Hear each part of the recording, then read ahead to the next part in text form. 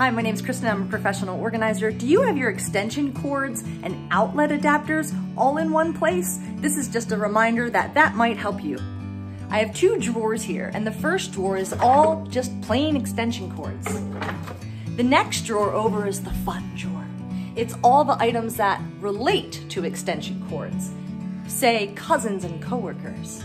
So for example, a foot switch extension cord, some plug adapters, and some timers.